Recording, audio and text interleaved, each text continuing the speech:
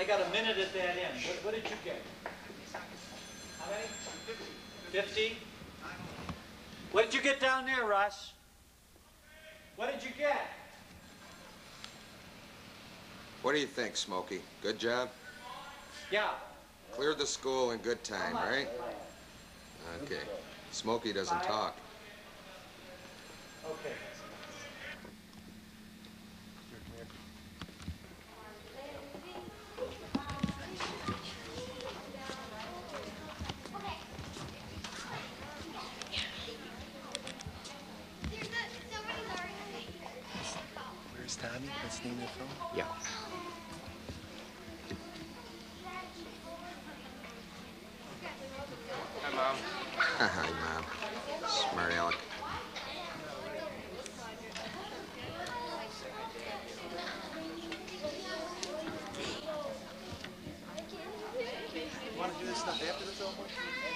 Gear? Yes.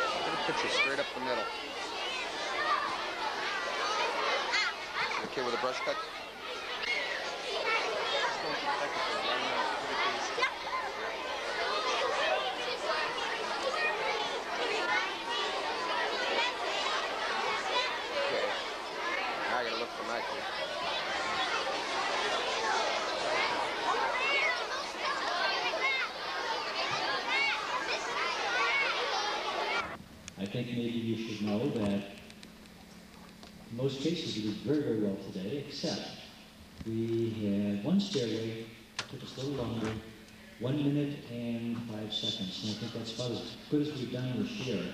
Maybe we can still take that minute, I don't know, we'll see. But One minute and five seconds for today. You know, this is Fire Prevention Week, and we've talked about it all week long. And uh, today, we have representatives from the Eggertsville Hose Company who are not only going to present a program to us today, but they're going to have an invitation for you and your family to visit Sunday, Sunday, the Sunday, 12 o'clock to 4 o'clock at Eggertsville Hose Company. Special treat, so you get to see the equipment really good then. So we're going to have our program today. Keep it in mind, we'll have some notices to go home about Sunday. I'm going to turn the program over to Fireman Mike. Thank you. That was a very good fire drill. Very impressed with the size of the school and time it took. Needs a little improvement, but takes practice. What we're going to speak about today is fire hazards in the home, how to clear your house of the hazards. For example, garbage around your furnace, hot water tank, they can start on fire books, boots, shoes, things like that around on your stairs that you can trip on and it'll block the exit if you have to get out in case of a fire. Also, being Fire Prevention Week, it's a nice reminder to check your fire extinguishers, make sure they're charged, make sure they're in good shape and where they're supposed to be hung. And your smoke detectors, make sure they're vacuumed out, free of dust, so they can sniff the smoke, and the batteries are up to charge. They should be changed annually and checked monthly. It's the perfect time to remind you to check. Also, go home and talk to your mothers and fathers and sit down with the family and draw out an exit plan, to get out of the house. What would happen if your front door or your back door is blocked in case of fire? Where would you go out? Sit down, draw it out on a piece of paper, and practice it, just like you practice fire drills at school. You have yourself a tree out in front of the house, or a lamp post, or a neighbor's yard. And when the fire drill bell goes off at home, or the, or the signal at home, you get out of the house, you go to that spot. You don't go back into the house for a toy or an animal. You stay at that spot, the whole family gets together. I also like to, like the principal said, I also like to remind you of that open house this Sunday. You'll be able to climb in the trucks, a lot of movies, donuts, cider, handouts. Smokey will be there. Be able to practice putting out fires. We're gonna have demonstrations, cutting open a car. Uh, Just many demonstrations. We plan a full, a full day of fun. I'd like to turn over to Fireman Jim. I'd like to speak a little more on prevention.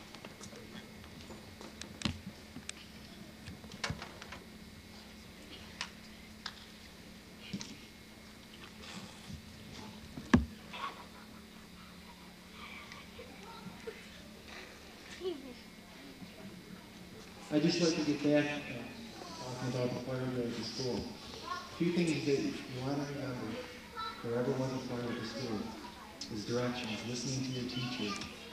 Because somebody actually might be a fire here, and you're gonna have to be instructed in what to do. And the teachers are gonna know what's best to do. So if you ever do walk down a stairway and comes about the, the stairway is blocked, you have to be quiet, you have to listen to the teacher. Because they'll be the ones making the decision, and directing you how to get out of the building the next fastest way. So it's very important to listen to your teacher when leaving the building, staying quiet so your teacher can talk to you.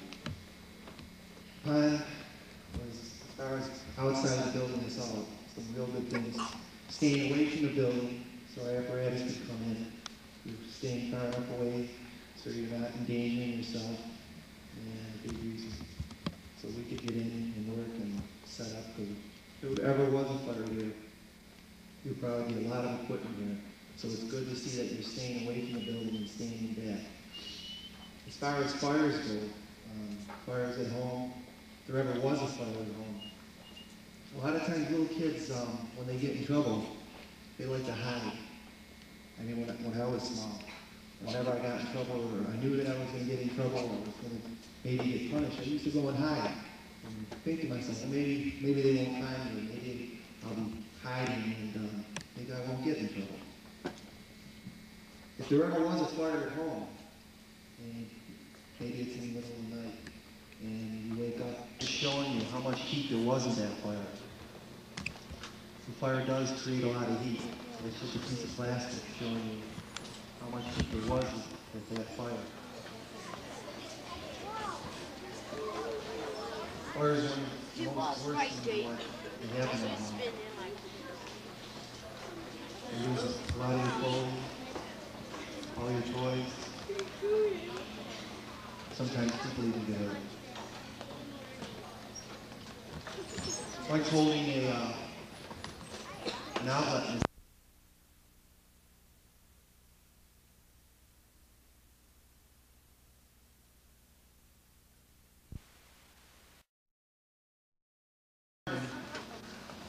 when we do go into these fires, it's protect ourselves. And uh,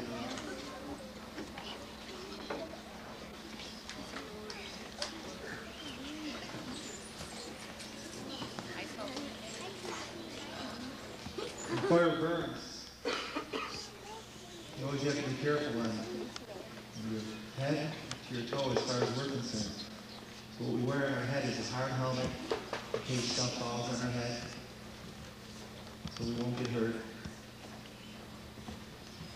We have a face mask up front to protect our eyes in case we have to use an axe to chop things down, chop doors down, break windows, so we won't hurt our eyes.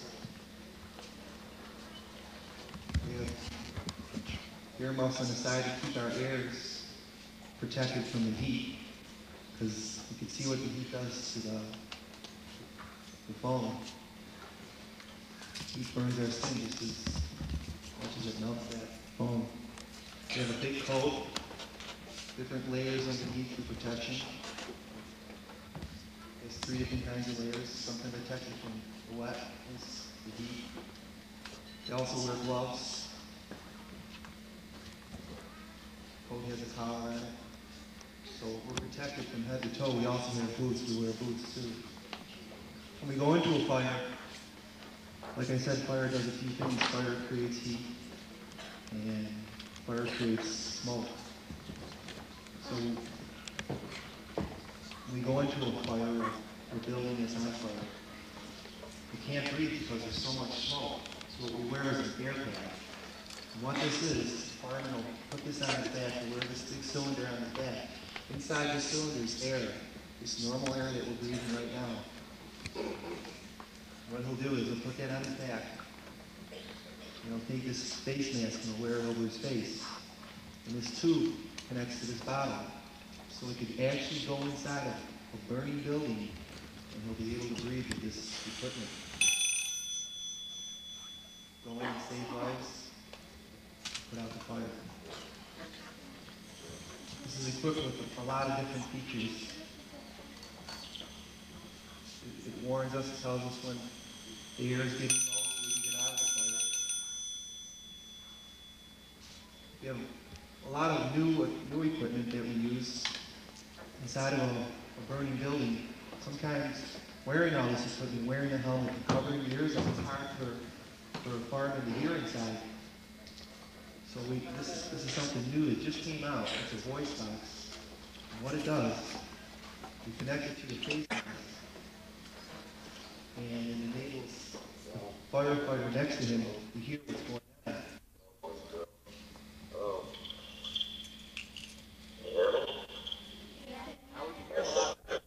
I this off. It'll be a- So they're always coming out with new devices like this to help us fight fires. You come to the Fireball Sunday, we show you a lot more other equipment. Another device that's of new. If I was inside the fire and say I hurt myself. I was in a room looking for, say, children, and somebody was trapped in the room. And I went to the room and maybe I hurt my leg or I fell down and I got trapped and I couldn't get out. These are on all the air packs, and what it does, if I stay in one spot for more than 30 seconds, this um, monitor will alert just like that, and it'll get louder and louder. And that's telling all the other firemen that there's someone inside who needs help and can't get out. But we're all trained to know what that sound means. We continuously go to school just like you do every Wednesday night. We have the drill at the fire hall. We have a classroom, we have chalkboards, and we have teachers that come in, so we're constantly learning new methods of firefighting, how to protect ourselves.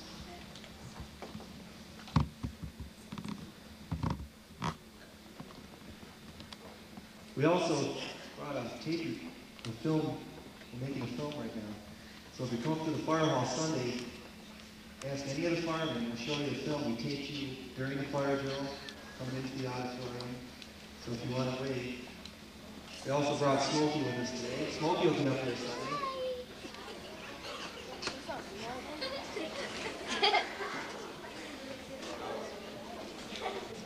Just want to thank you for being a good audience and paying attention and remember when you come home today. Ah. Check your smoke detector, chocolate mile bed. And just coming up to the fire hall Sunday so we can talk to your parents and tell them what to do for fire prevention.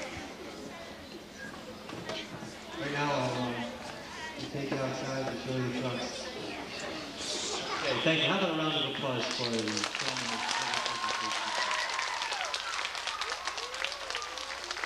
hope, I hope that you learned that if you ever are alone, you don't do those things that were shown in the movie. Because that's not safe at all. So I hope you learned from that. I understand the equipment will be here for a little while, but so that the other classes could go out, but the, how long? Okay, they'll be here about 10 minutes. Uh, if you could, you want to go out and see the fire trucks, uh, we'll be.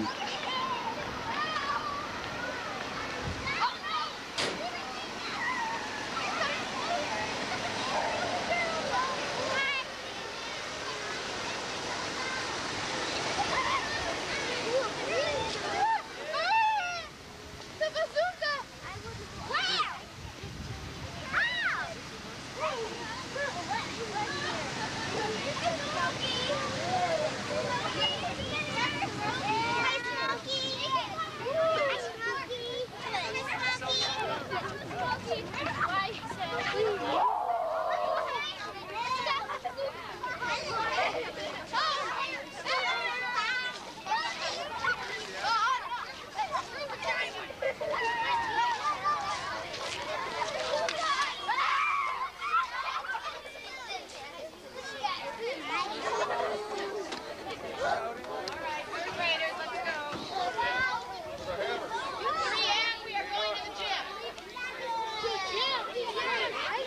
Yellow bottles, okay.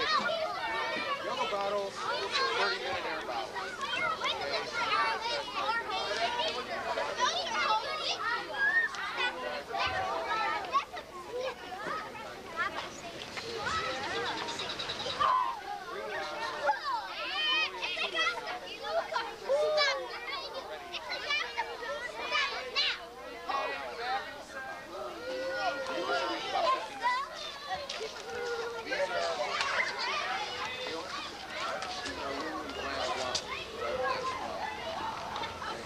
They do correctly some heat.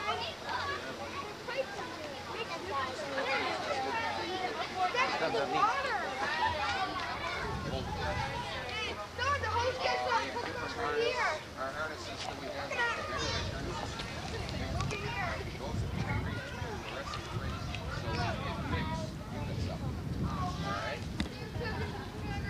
This is our, our ventilation fans and all our electrical. We have a fire, we call the power company in, they shut the power off. We'll be squirting water in the bedroom or the bathroom, kitchen, wherever. If our, our stream hits electrical wires, you know, we'll be fried. So we have to have the electric shut off. We run our own cords off the generators on the truck, or we have portable generators. And it'll be the lights and the electric fans to blow the smoke out of the building. Alright? Now we want to remind you kids, I don't know, remember Darth Vader? Yeah. Okay. A few years ago, they called it the Darth Vader syndrome. Fireman walks in, especially the ones with all black outfit, black helmet, have the mask on. What would it remind you of? Darth Vader, right? The kids were running and they're they're scared, they're hiding under beds and closets. we show you the equipment so you just won't, you know, you get used to it. You won't be scared the guys come in. You know, we're we're there to save you. We're like the police, We're your friends. You know, we're there to help you. So it's nothing to be afraid of. All right. Anything will save you, and you come down the truck and have a can of pop.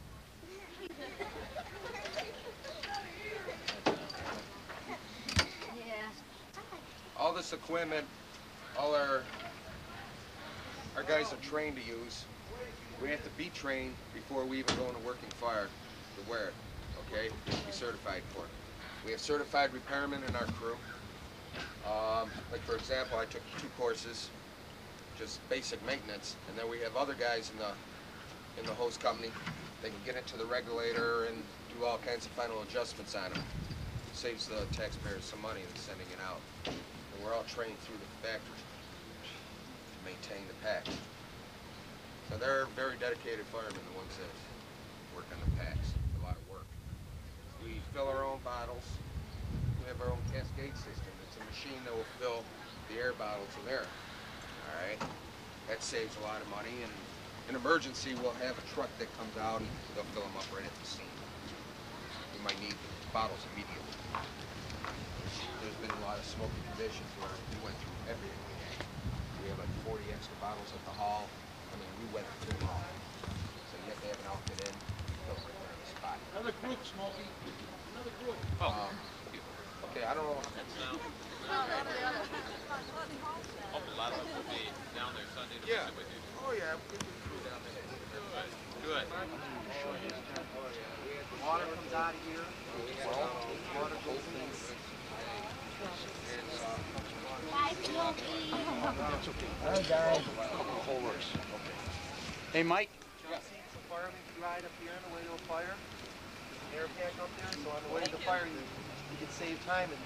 you already have his air pack on when he gets there.